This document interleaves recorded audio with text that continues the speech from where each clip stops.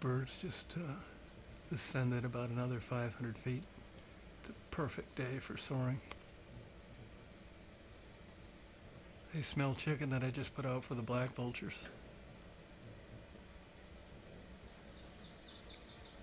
I love vultures. It's just beautiful.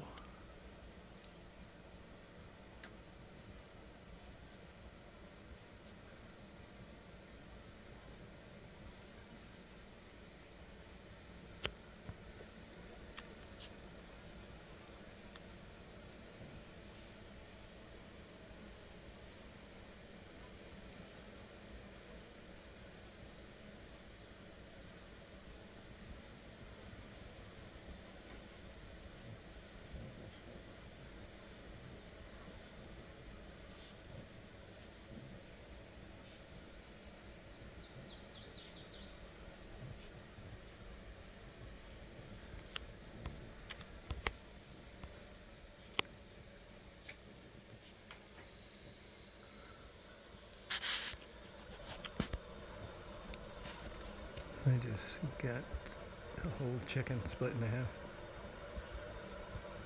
They really don't eat that much on a hot day. Actually, they skipped breakfast this morning. These are black vultures. The ones you saw in the air are turkey vultures. I change their water every day as well.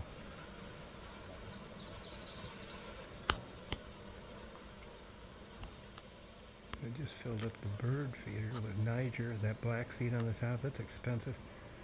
65 bucks for 25 pounds. And then that's regular bird feed beneath it. That's uh,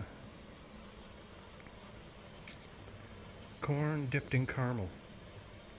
There's a doe that likes to eat here at night. I thought she was knocking over the water, but actually it's squirrels which is why I put a big giant piece of petrified wood in the middle of it.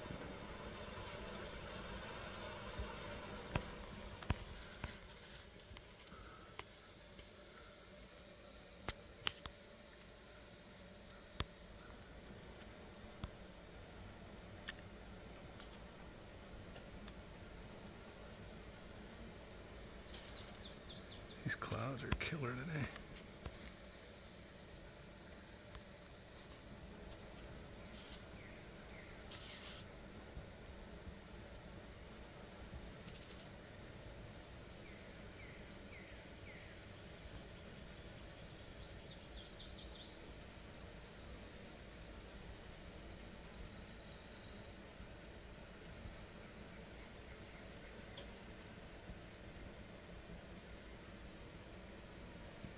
Now we've got the bees, which are having a heating problem, which is why so many of them get outside the hive. You notice the ones up there fanning the hot air out of the hive as good as they can. They've got enough sense to reduce the population when it gets this hot. I supplement mine with sugar water all year long. Saves them from dipping into their own resources.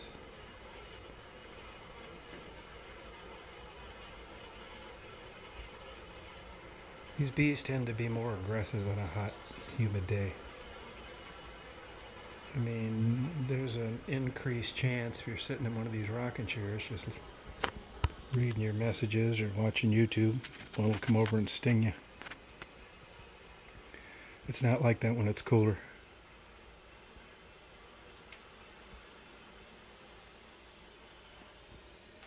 Great clouds.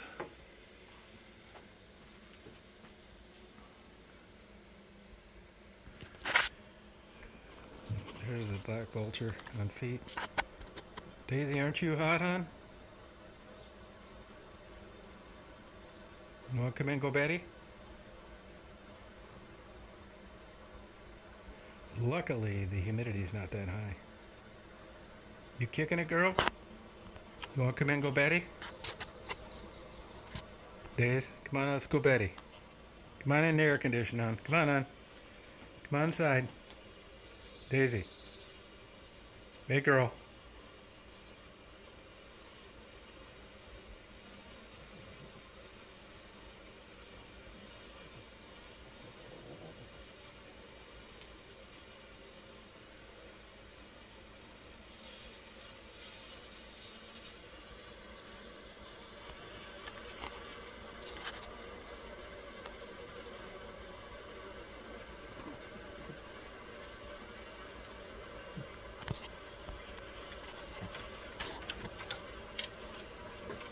Where you go, Betty?